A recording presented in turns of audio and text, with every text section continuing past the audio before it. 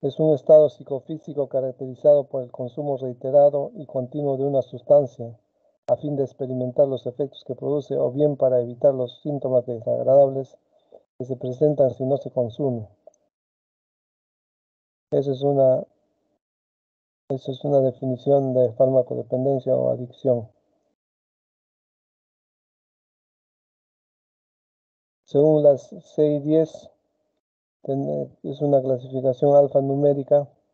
Tenemos varias sustancias que producen dependencia. Entre ellas tenemos el F10, trastornos mentales y del comportamiento debido al consumo de alcohol. El F11, debido al consumo de opioides. El F12, debido al consumo de cannabinoides. El F13, debido al consumo de sedantes o hipnóticos. El F14 debido al consumo de cocaína, el F15 debido al consumo de otros estimulantes incluyendo la cafeína, el F16 debido al consumo de alucinógenos, el F17 debido al consumo de tabaco, el F18 debido al consumo de disolventes volátiles, el F19 debido al consumo de varias sustancias psicotropas al mismo tiempo. Todas estas sustancias pueden producir en algún momento intoxicación aguda, que es una intoxicación que se realiza porque eh, se consume grandes dosis de, estas sustancias y en un tiempo eh, corto que produce intoxicación como cualquier otra intoxicación. Consumo perjudicial. O sea, también eh, las personas cualquiera de estas sustancias consumen a pesar de que saben que les hace daño a su salud. Síndrome de dependencia, que es la adicción, es la propia dependencia que tiene dos componentes, la falta de control y la falta de abstención.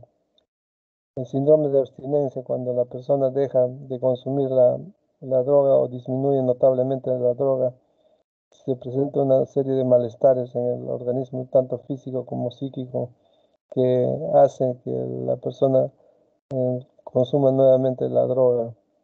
El síndrome de abstinencia con delirium, cuando se complica con delirium, que es un desequilibrio hidroelectrolítico y trastornos ya de la conciencia. Trastorno psicótico también. Cualquiera de estas drogas en algún momento puede producir un trastorno psicótico parecido a la esquizofrenia pero que es por sustancias y no por la enfermedad misma. Síndrome amnésico inducido por alcohol o drogas. También es, este, problemas en la memoria inducido por alcohol o, cualquiera de estas sustancias. Puede producir trastorno psicótico residual y trastorno psicótico de comienzo tardío inducido por alcohol o otras sustancias psicotropas.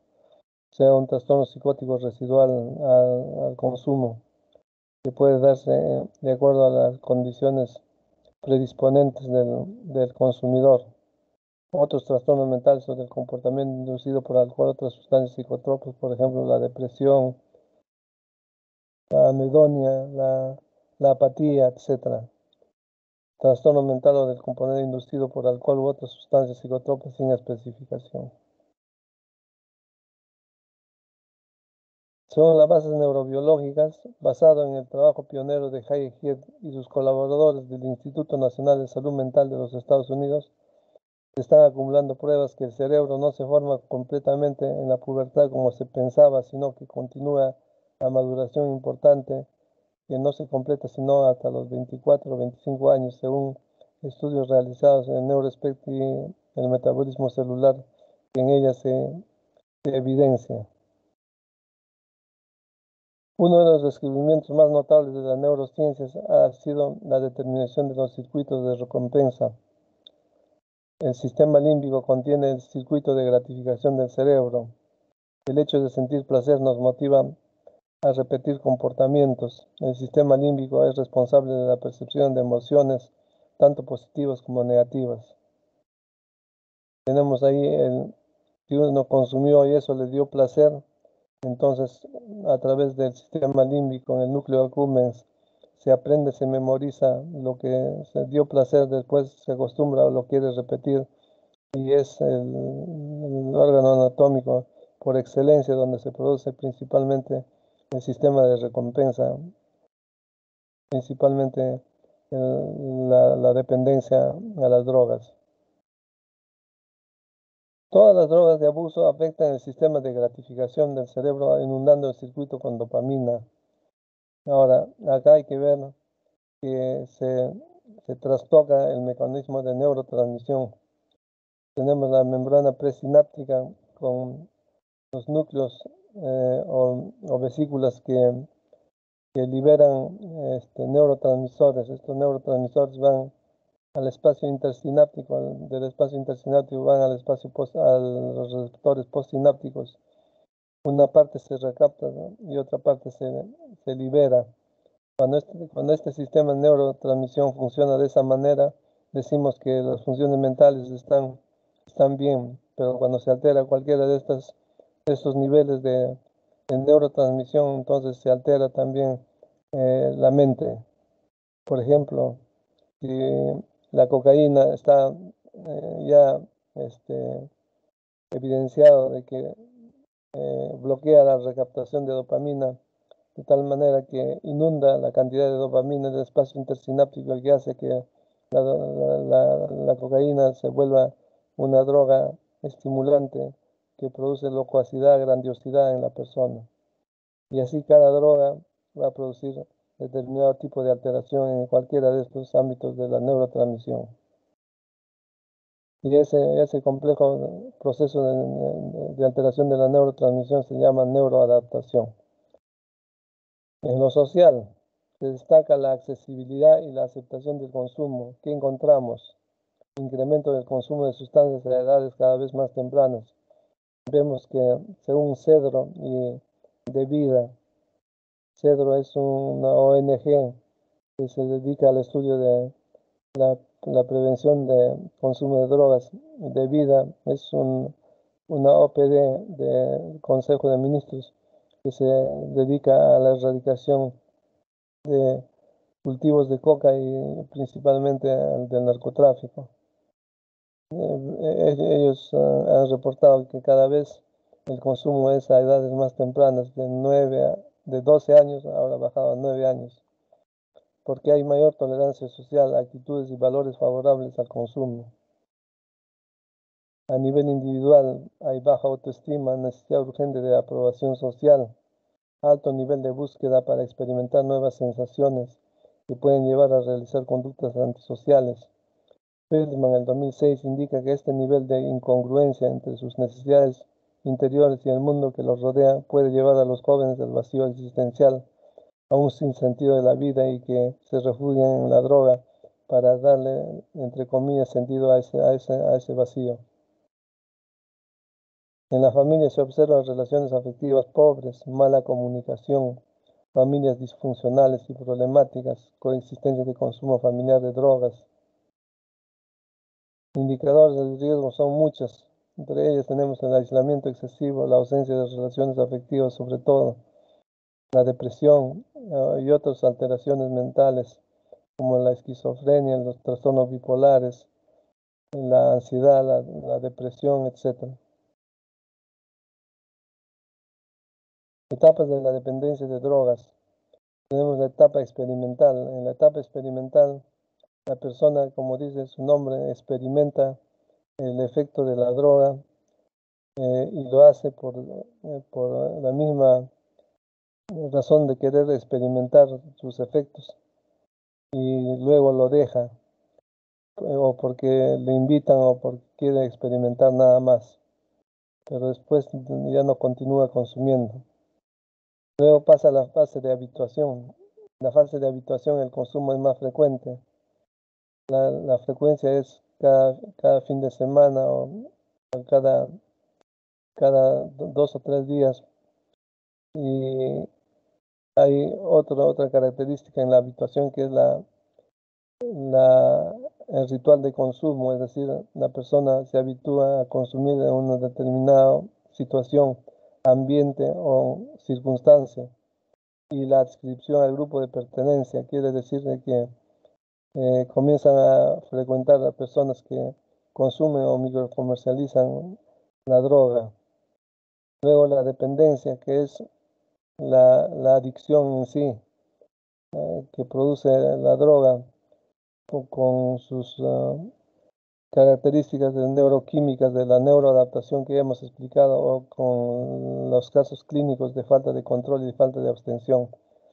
Aquí en esta falta de dependencia podemos ver la psicopatización que es un trastorno psicopático secundario de la personalidad, un deterioro somático por, por desnutrición o descuido en su alimentación ya que se dedican al consumo de droga Psicosis inducida por droga, como hemos dicho, puede producir psicosis cualquiera de las drogas en cualquier momento del,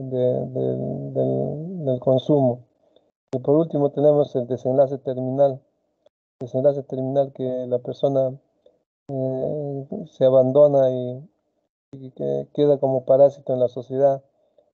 Eh, solamente vive para consumir y nada más se puede involucrar en problemas legales en suicidio o en homicidio, etc. Vamos a ver en la, clase drogas depresoras del sistema nervioso central, drogas estimulantes del sistema central, los psicodislécticos o alucinógenos. las drogas depresoras del sistema central tenemos el alcohol, los opiáceos, el cannabis, los inhalantes, los tranquilizantes y los barbitúricos. Las drogas depresoras son sustancias que actúan deprimiendo el sistema nervioso central y cuyos efectos son adormecimiento, tranquilidad, anestesia. Producen sensaciones agradables a la vez que alivian o calman o amortiguan las sensaciones molestas, los dolores, la ansiedad, la tensión, la angustia. ¿no? Es por eso que eh, por estas por estas este, por estas características algunos comienzan a consumir estas drogas depresoras y después se acostumbran y se producen la, la adicción. El alcoholismo ya lo han explicado, solamente yo voy a hacer una, una, ligera este, explicación este, académica. El alcoholismo, para ser considerado como trastorno, debe, cumplir las siguientes características. Adaptación del metabolismo celular al etanol, tolerancia progresiva, síntomas de abstinencia y falta de control o incapacidad de abstención.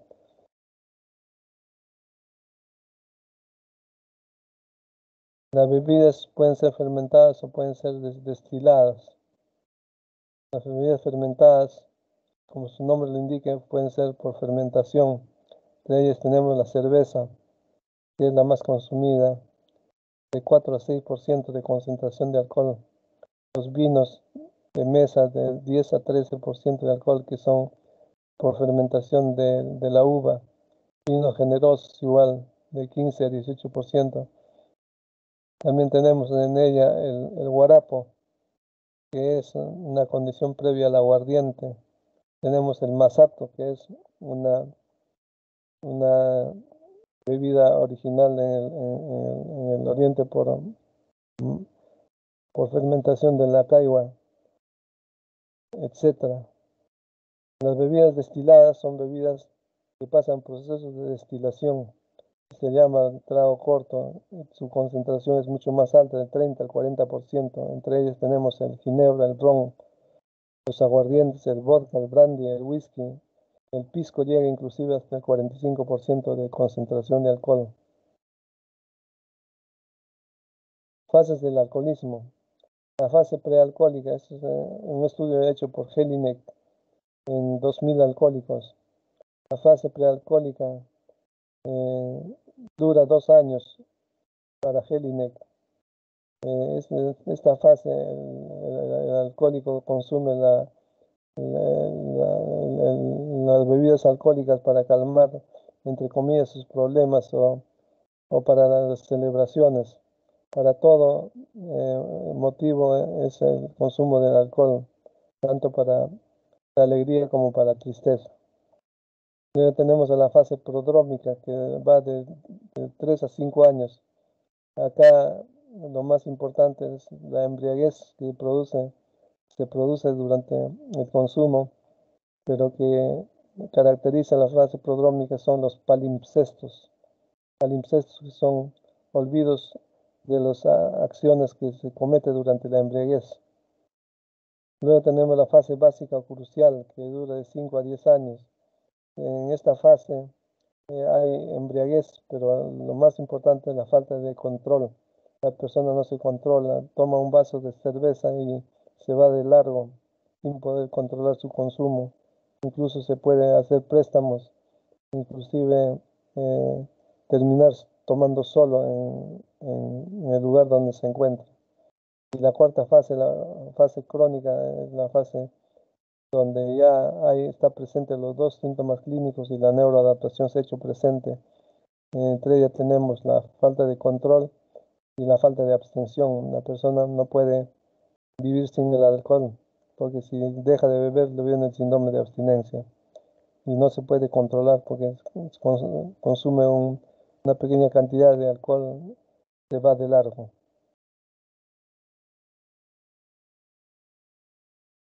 El agente natural es el alcohol etílico. Eh, su distribución se hace a través de todo el, organismo por vía sanguínea. El metabolismo, el 90% del metabolismo se realiza en el hígado y se excreta eh, por vía urinaria por la piel y por, por las glándulas sudoríparas. Eh, el etanol produce pues alteraciones a nivel del cerebro, produciendo hipotrofia, hipotrofia cerebral. En las hormonas sexuales produce impotencia sexual, eh, alteraciones en el colesterol, en, en, el perfil de coagulación, en el perfil endocrino y en el neurotransmisor altera principalmente la neurotransmisión de la serotonina. Como vemos en la imagen, una, un, paciente con balonamiento abdominal está con asitis, es decir, con cirrosis, que es la fase final con que termina un alcohólico en, la, parte física, aparte de las alteraciones mentales que, puede, que, puede, que, que produce y que se han explicado también en el seminario. Intoxicación alcohólica es uso reciente del alcohol a grandes cantidades. Produce pues signos como incoherencia, incoordinación motora, marcha inestable, confusión, nistagmus, rubor facial. Hay que hacer diagnóstico diferencial con, otros, con otras intoxicaciones. El tratamiento, principalmente si no hay complicaciones, es que la persona duerma y, y baje el nivel del alcohol pero se, puede ayudar a través de hepatoprotectores como epavionta o ácido fólico para poder eh, metabolizar el alcohol y eliminar rápidamente para disminuir la, la, alteración de la intoxicación. Intoxicación alcohólica idiosincrática o patológica. La ingesta es mínima, no requiere de gran cantidad de alcohol hay cambios, conductuales atípicos. El curso es eh, de una, una, una, una intoxicación. Factor predisponente básicamente es eh, pacientes con problemas de trastorno de epilepsia del lóbulo temporal pueden producir ese tipo de, de alteración, de intoxicación patológica personas con trastorno psicopático de la personalidad, trastorno disocial o trastorno también eh, histérico de la personalidad en personas eh, con edad avanzada, etc. diagnóstico diferencial hay que hacerlo con, con intoxicaciones de otro tipo. El tratamiento es igual, disminuir eh, la cantidad de alcohol para que la persona nuevamente vuelva a, su etapa normal. Síndrome de abstinencia alcohólica ya lo han explicado detenidamente en la, en la, en la exposición y también se puede complicar con delirium por abstinencia alcohólica, con, alucinaciones, con, con, alteraciones del sistema hidroelectrolítico y a veces se convierte en una emergencia médica. la alucinosis alcohólica, la persona este, puede tener psicosis, como, como les he dicho, psicosis, en este caso alcohólica, con alucinaciones auditivas. Lo, que lo diferencia de los esquizofrénicos es que en la esquizofrenia el, esquizofrénico incorpora las voces como ciertas, también el alcohólico este, eh, hace crítica a, las voces o a, las visiones para él no existe, pero que le perturban, que se le presente y le perturban, pero eh, ellos son conscientes que no, que no son verdaderos. Hay que, hay que hospitalizarlo y hay que darle antipsicóticos. Trastorno amnésico alcohólico también lo han explicado en el seminario, con olvidos que se producen por alteración en, hipotrofia cerebral o alteración a nivel del, del cerebro la demencia asociada al alcoholismo que produce ya cuando esto está avanzado y el alcoholismo crónico, cuando ya el consumo del alcohol es ya eh, es un dependiente tanto este, físico como psicológico como social. El alcoholismo crónico ya la persona este, se da al abandono y y, continúe con, el, con su consumo hasta llegar a la etapa de desenlace terminal inclusive. Los opiáceos derivan del Papaver somniferum. Es un arbusto de 0.5 a 1.5 metros de altura, de color blanco a rojo. Crece en climas templados cálidos. De las cápsulas poco maduras se extrae el látex y al contacto con el aire forma una costra oscura llamada opio. También se le llama amapola. Por eso una hectárea de amapola dice igual a 8 kilogramos de opio. 10 kilogramos de opio da un kilogramo de morfina. Un kilogramo de morfina equivale a un kilogramo de heroína. Por eso vamos a ver las clases de opioides. Tenemos opioides naturales, los fenantrénicos y los benzilisoquinolínicos. Los fenantrénicos tenemos la morfina, la tebaína, la codeína. Los benzilisoquinolínicos tenemos la papaverina, la noscarina, la narceína.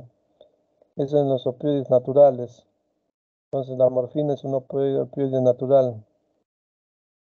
Luego tenemos los opioides semisintéticos. Tenemos la heroína, la hidromorfa, la dihidromorfa, la metilhidromorfina, la apomorfina y la oxicodona, que son opioides semisintéticos.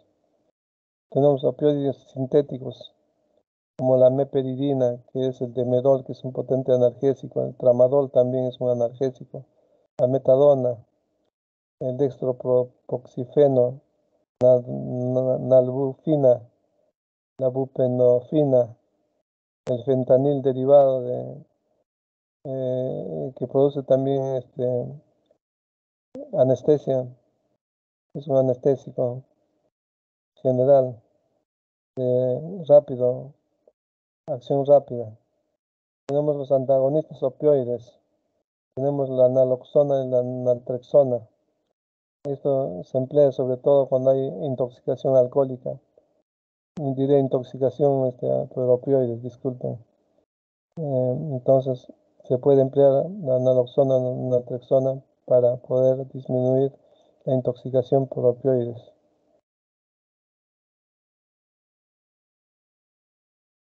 Vías de administración. Fumado o bebido en infusión, comido como aderezo. Efectos pueden ser inmediatos o a largo plazo. E-, efectos inmediatos. Aumento de la locuacidad e imaginación a corta duración, los opioides pueden producir aumento de la locuacidad, respiración lenta, confusión del pensamiento, sueño profundo. A largo plazo, deterioro notable de todos los niveles, ausencia de hambre, estreñimiento severo, disminución de los fluidos corporales, disminución de la tensión arterial, disminución de la libido, percepción constante de frío, aislamiento con menoscabo de las relaciones interpersonales. En cuanto a los síndromes de abstinencia, tenemos el estado inicial, la fase intermedia y la fase final de la abstinencia, cuando se deja de consumir los opioides. En el estado inicial hay lagrimeo, sudoración, bostezos, rinorrea, inquietud y ansiedad. En la fase intermedia, temblores, dolores musculares, irritabilidad, piloerección, dilatación pupilar, agitación psicomotriz. En la fase final, la abstinencia produce diarrea, náuseas, vómitos, eyaculación espontánea, fuertes dolores, calambres, fiebre, por lo cual la persona nuevamente consume el opio para poder calmar todas estas molestias.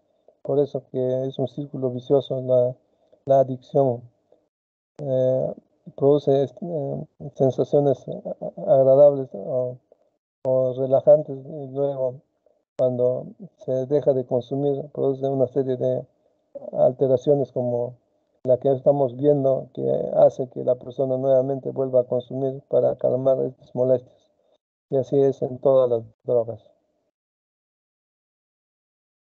El cannabis, derivado del cannabis sativa, cultivo zona cálida como Oriente Medio y Lejano, gran parte del África, zona central del Norte y Sudamérica, la sustancia activa es el nueva delta tetrahidrocannabinol, que es un alcaloide. Vamos a ver la variedad de consumo del cannabis. Se consume como tallos o como hojas. La marihuana o hierba, ¿no? Hojas secas, flores, pequeños tallos. Concentración de tetrahidrocannabinol es bajo, de 5 a 10%. En cambio, cuando es como hashish o chocolate, que es prensado de la resina de la planta hembra, dando lugar a un bloque de color marrón, tiene una concentración de tetrahidrocannabinol de un 20%.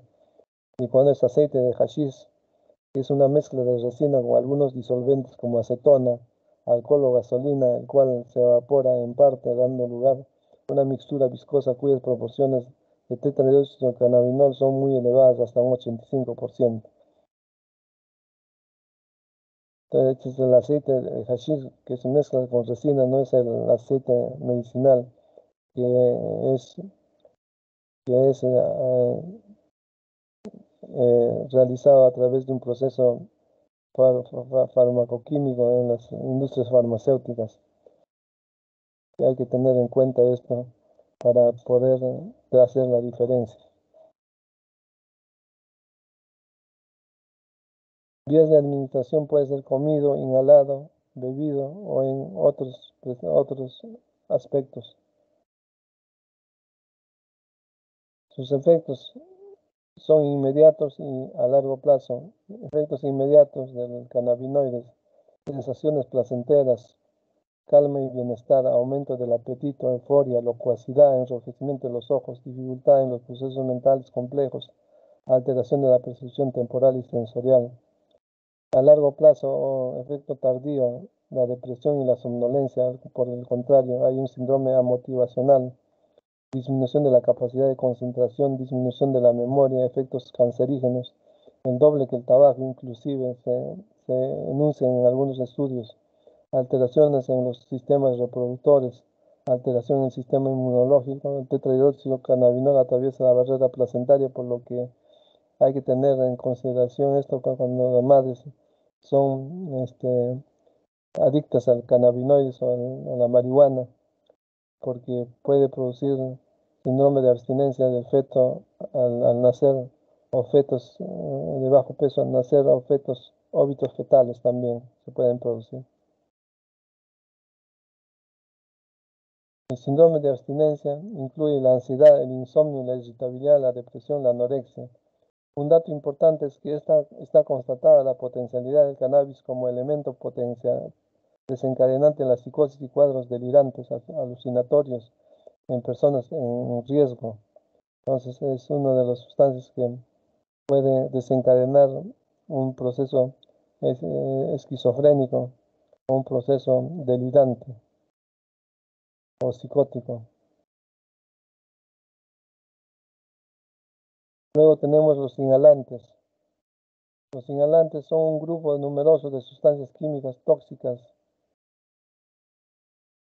volátiles. Utilizan a través de la inhalación por la nariz o la aspiración por la boca con el fin de producir depresión o estimulación del sistema nervioso central, causando alteración neurosensorial, distorsión de los sentidos, afectación de las funciones cerebrales, trastorno de personalidad y conducta.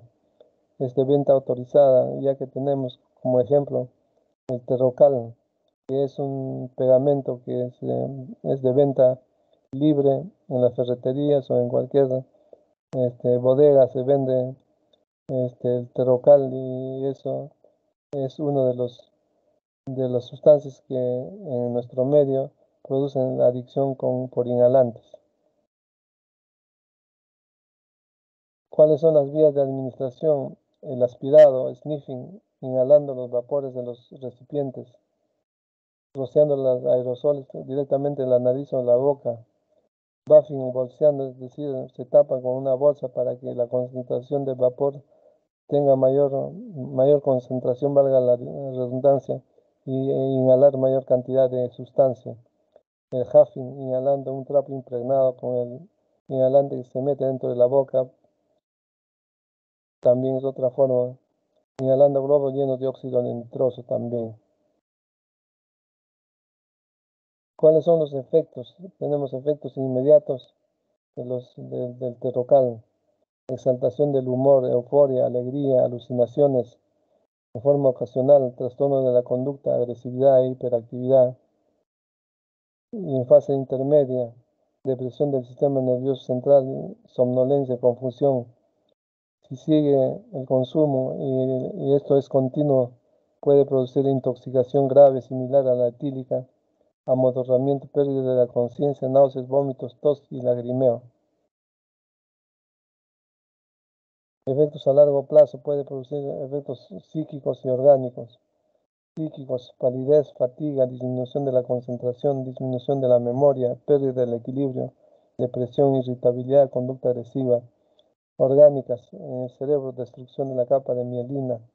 En la sangre, disminución del transporte de oxígeno. El pulmón puede producir necrosis, el corazón muerte súbita por, por fibrilación ventricular, en el hígado puede producir cirrosis, eh, puede producir insuficiencia renal aguda, en el riñón, la médula ósea puede producir leucemia.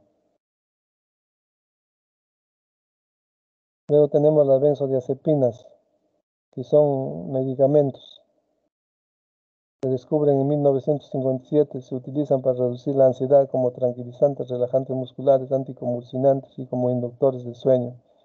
Esa es la indicación. Las benzodiazepinas son fármacos que se recomiendan en el tratamiento de diversos trastornos psiquiátricos, principalmente en la ansiedad. Son drogas legales de prescripción controlada con acción medicamentosa y efectos adictivos. Entre el 15 y el 30% de pacientes que consumen presentan adicción a dosis altas producen tolerancia y dependencia. Se considera que existe fármaco de las benzodiazepinas cuando se consume más de cuatro tabletas de cualquier benzodiazepina sin prescripción médica, es decir, en forma automedicada. Por eso que se tiene que eh, eh, controlar el consumo de la sustancia. Tiene que ser prescrita por el médico y controlada por el médico. Los efectos, el uso regular de los, de los depresores puede producir dependencia física y psicológica. Las personas que dejan de tomar esos fármacos después de grandes dosis presentan síntomas de abstinencia. Los efectos psicológicos, físicos y psicológicos, tranquilidad y relajación muscular, lenguaje arrastrado, marcha tambaleante, percepción alterada, falta de control en procesos mentales y el síndrome de abstinencia cuando se deja de consumir grandes cantidades de, tranquilizantes. Tiene pues el insomnio, la sudoración, la inquietud, la hipersensibilidad, la luz y sonido, el mareo, crisis convulsivas, náuseas, contracturas musculares, dolor abdominal, delirium, dolor de cabeza. Por eso que nuevamente comienzan a consumir eh, la droga para calmar estas molestias y conforman el círculo vicioso como cualquiera de las drogas que hemos mencionado. Tenemos luego las drogas estimulantes, tenemos las anfetaminas, el éxtasis, las drogas de diseño, los anabilizantes, la cocaína y el crack y luego el tabaco. Las anfetaminas intoxicación por el uso reciente, cambios, cambios conductuales, síntomas como taquicardia, alteración de la presión arterial, sudoración, vómitos. El síndrome de abstinencia por la interrupción o reducción del consumo continuo de, de la anfetamina da síntomas como fatiga, insomnio, agitación. Puede producir también delirio con alteración de la atención, pensamiento desorganizado, alteración de la conciencia, alteración del ciclo sueño-vigilia, trastorno delirante de tipo persecutorio, principalmente no es un tipo de psicosis que puede producir también las anfetaminas. Drogas de síntesis, el éxtasis. Son sustancias con las siguientes características comunes. Se elaboran por síntesis química en laboratorios clandestinos. Sus efectos sobre el cerebro humano se asemejan a los de otras drogas más conocidas, estimulantes y alucinógenos débiles. Se trata de productos novedosos y muchos de ellos aún no están recogidos en la lista de sustancias prohibidas. Los traficantes con frecuencia no se exponen a ninguna sanción legal establecida porque tratan de ocultarla a través de, la microcomercialización tienen su potencial tóxico adicional por adulteración. Por ejemplo, lo que se ve como éxtasis lleva con frecuencia MDA, LSD, MDE, anfetaminas adulterantes. Tenemos el laboratorio donde elaboran eh, el éxtasis y las, las drogas en forma de tabletas de, diversos, de diversas formas y se transportan los microcomercializadores pegados a, los miembros superiores o inferiores. Y esto se utiliza pues en el ocio, como vamos a ver, patrones de uso. Su ingesta tiene un significado social. Es un elemento facilitador de la comunicación y la sociabilidad. El usuario pasa de lo individual a lo colectivo y grupal. Su uso se vincula a determinadas formas de ocio juvenil. Fruta de bacalao en España, raves parties en Gran Bretaña, como, como le llaman. La ingesta se produce entre un grupo de amigos resaltando el componente de confianza y afinidad que ello conlleva. Consumo aumenta en épocas de tiempo libre y ocio, celebraciones, fines de semana o vacaciones, cuando están libres y quieren utilizar su tiempo de ocio, pero luego que se produce la adicción, esto es muy, muy muy eh, aparatosa y muy, muy dañina para la persona. Yo he tenido varios, varios pacientes con, con dependencia a éxtasis. Los efectos psicológicos, confusión, depresión, dificultad para conciliar el sueño, ansiedad severa, paranoia, euforia, aumento de la agresividad, insomnio, alucinaciones auditivas, estado de ánimo alterados, delirio y efectos físicos.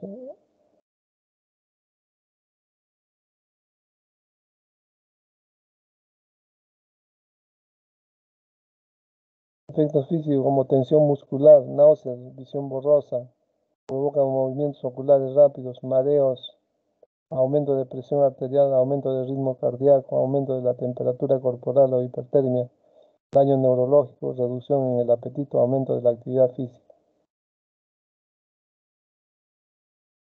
El síndrome de abstinencia trae pues consigo la depresión, la ansiedad, la fatiga, la paranoia, la agresión, el deseo intenso por la sustancia, por el, éxtasis. Luego tenemos los anabolizantes, o drogas de diseño.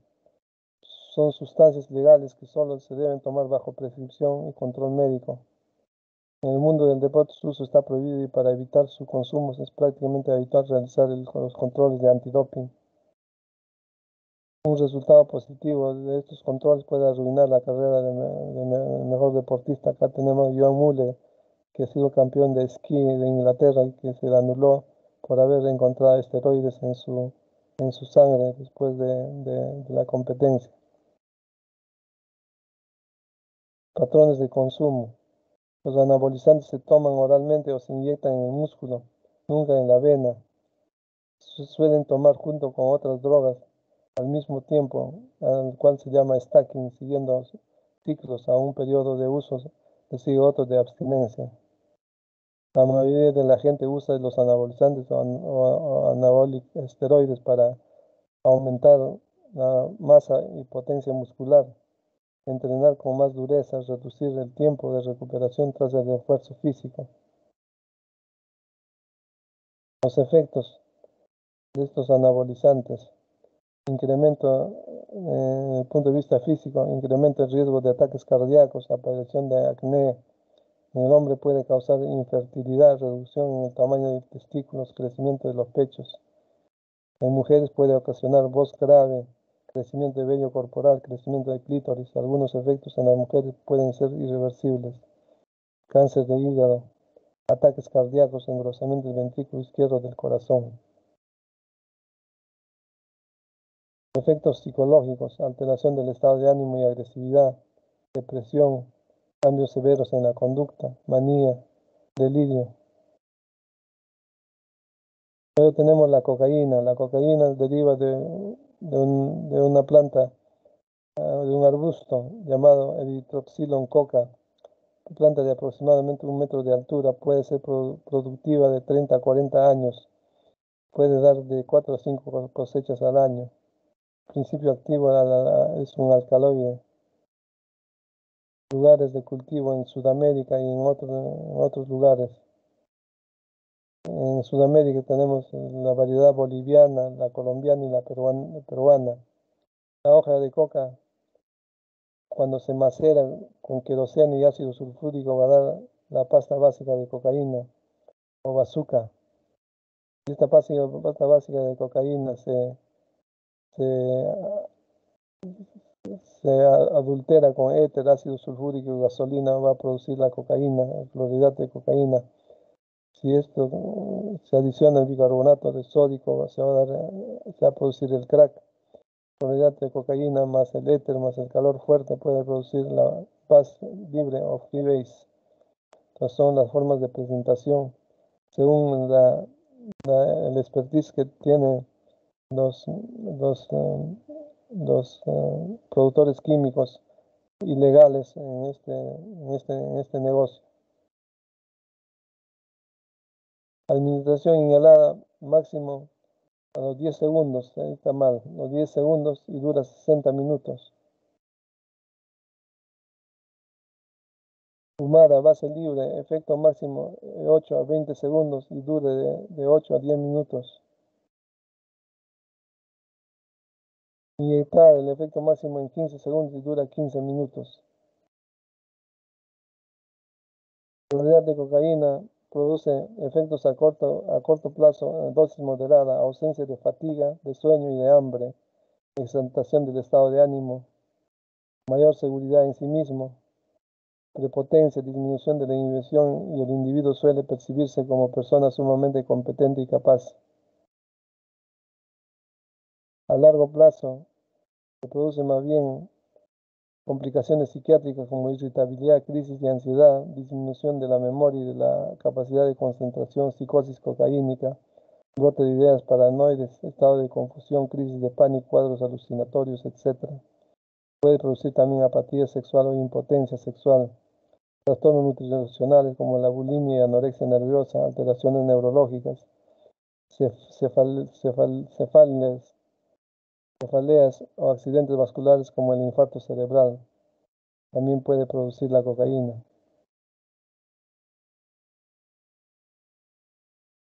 La base libre o crack, semejante a la cloridad de cocaína, pero mucho más potente y con más riesgo para el individuo. Al inicio hay euforia exagerada, sensación de bienestar, excitación sexual. Posteriormente hay depresión, irritabilidad, angustia, insomnio, disminución del apetito aumento de la frecuencia cardíaca, aumento de la tensión arterial. Eh, hay un gran poder adictivo y hay un síndrome de abstinencia rápida. En cuanto al síndrome de abstinencia, vamos a ver que hay la fase de crash que produce de 9 horas a 4 días eh, de dejado de consumir la droga. La persona sufre agitación, ansiedad y depresión. La fase anedónica o de privación se produce de 1 a 10 semanas, o sea, los dos meses y medio. donde la persona tiene desinterés, desmotivación, pero hay una compulsión intensa por seguir consumiendo la droga. La fase de extinción del comportamiento después de 10 semanas, 2 meses y medio. Desaparece el consumo por compulsión por el consumo. Se puede llegar a la abstinencia, pero esto es difícil. Eh, generalmente menos del 5% de personas logran eh, este este cometido, el 95% de personas requieren tratamiento para llegar a la abstinencia. Tenemos luego la dependencia de nicotina. La composición del tabaco y humo de nicotina, la combustión del cigarrillo, tiene más de 4.000 sustancias, muchas de ellas nocivas. Más de 400 son tóxicas, más de 40 son cancerígenas. Tiene pues una serie de sustancias muy nocivas como el dióxido de carbono, el monóxido de carbono, el óxido nitroso, metano, acetaldehído, isopreno, acetona, tolueno, acetonitrilo, acraleína, amoníaco, benceno, nitrosamina, nitrosopirolina, nitrobenceno, etc. Es en la fase gaseosa. La fase de partícula tiene el alquitrán, el agua, la misma nicotina, el fenol, el catecol, el pireno, el benzoapireno. Composición del humo del tabaco. El monóxido de carbono está ligado a, lesiones de la pared vascular, principalmente. Los carcinógenos, tenemos los benzoapirenos, las nitrosaminas y el cadmio. Y la nicotina tiene efectos cardiovasculares y es el que produce la adicción. La nicotina es una droga con igual o mayor poder de adicción que la cocaína o la heroína. El 65-70% de fumadores quieren dejar la adicción, pero no, no lo pueden. Solo menos del 3% podrán dejarlo sin ayuda. El consumo de tabaco es causante directa y conocida de al menos 25 enfermedades que incluyen infarto, cáncer de boca y esófago, cáncer de laringe, enfermedad coronaria, EPOC, cáncer de pulmón, cáncer de páncreas, úlcera péptica, cáncer de vejiga, enfermedad vascular periférica, cáncer de cervix, bebés de bajo peso al nacer. Como ven,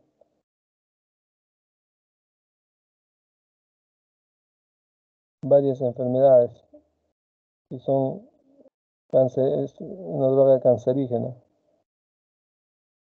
Tabaquismo es la primera causa de cáncer. La relación entre consumo de tabaco y cáncer está avalada por evidencias epidemiológicas, histológicas y genéticas. Es la principal causa de cáncer de pulmón, laringe, cavidad oral y esófago. Causa de cáncer de riñón, vejiga, páncreas, estómago, cervix, ano, vulva, pene e hígado. El aire contaminado del humo de tabaco afecta a las personas que no fuman porque tienen nicotina, monóxido de carbono, diversos carcinógenos y otras sustancias tóxicas y por último tenemos los psicodislépticos, que son alucinógenos o psicodislépticos, sustancias capaces de provocar en el sujeto que nos consume alteraciones de la percepción, por ejemplo, eh, delirios y alucinaciones. De ellas tenemos el LSD. El LSD es un potente alucinógeno. Se trata de un producto sintético extraído del cornezuelo del centeno o clavíceps purpúrea, que fabrica de forma clandestina a partir de precursores químicos y de una buena formación en conocimientos técnicos. Forma de presentación en forma de tabletas o en forma de sellos impregnados para su comercialización.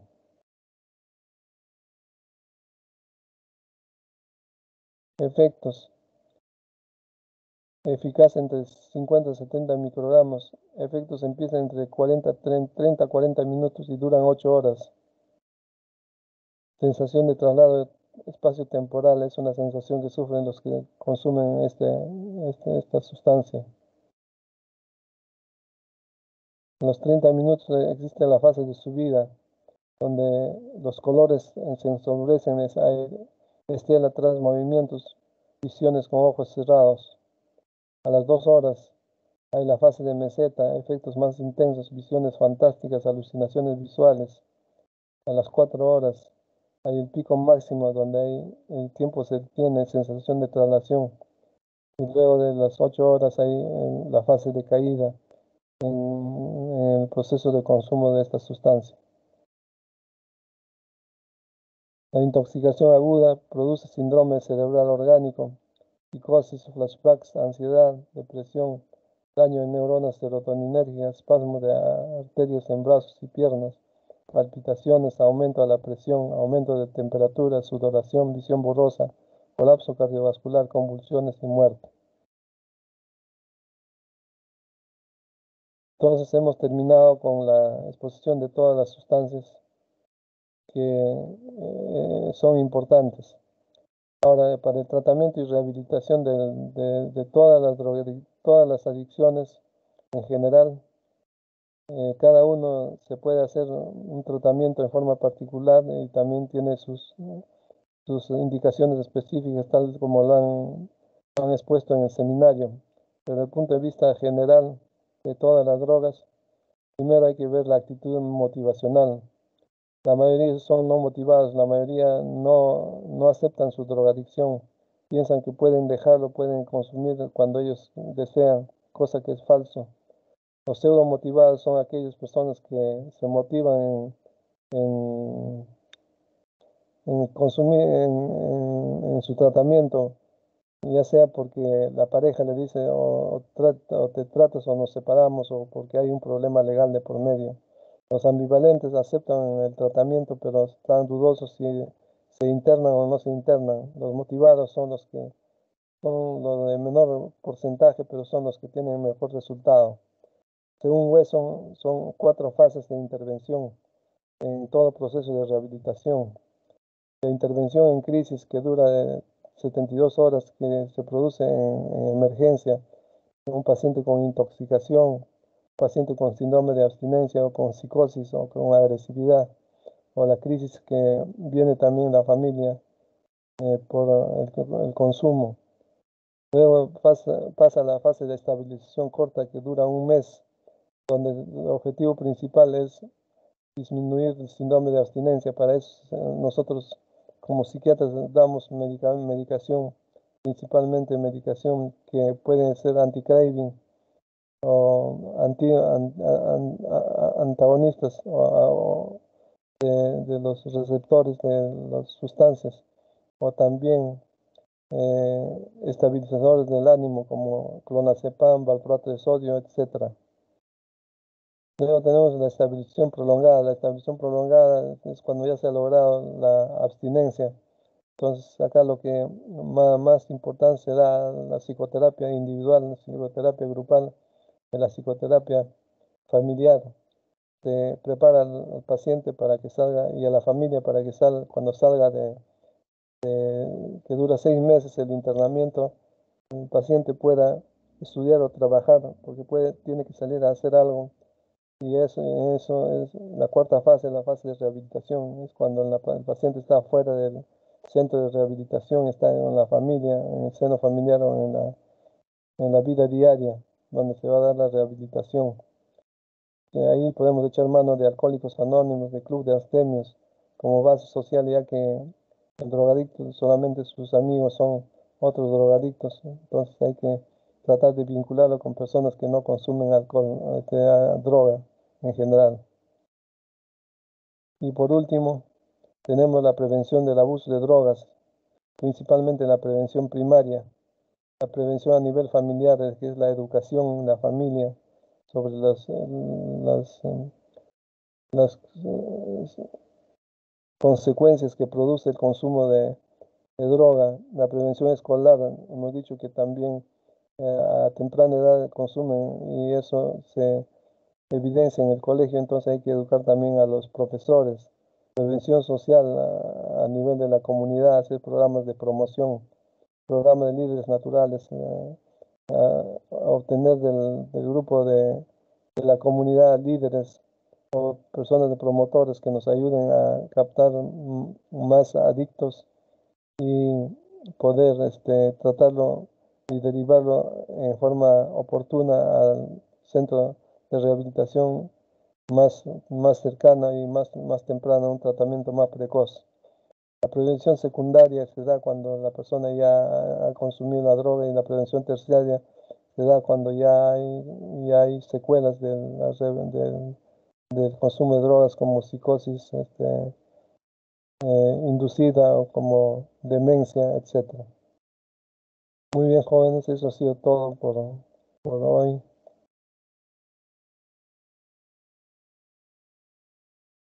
Entonces hemos terminado la teoría. Voy a pasar lista. Ok, doctor, gracias. Yanela Lupe Javier Cruz. Presente, doctor. Sara Santisteban Marcelo Santos.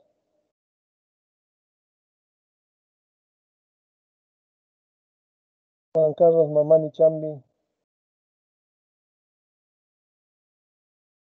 Catherine Milagros Lazo Sarmiento. Presente, doctor. Kathleen Lisley Laveriano. Presente, doctor. León Caico y Johan Max. Lisbeth Emily Jauregui de la Cruz. Presente, doctor. Buenas tardes. López Vargas María Judith. Presente, doctor. Buenas tardes. Luis Gustavo Olivia Cabrera. Presente, doctor. Buenas tardes. Maita de la Cruz. Yeslin Presente, Zulema. doctor. Presente, doctor. Buenas tardes. Ya, Lozano Becerra Ja- Haller Sinoe. Ya. Entonces con eso hemos terminado la tarde. Y la próxima clase, el próximo viernes, hace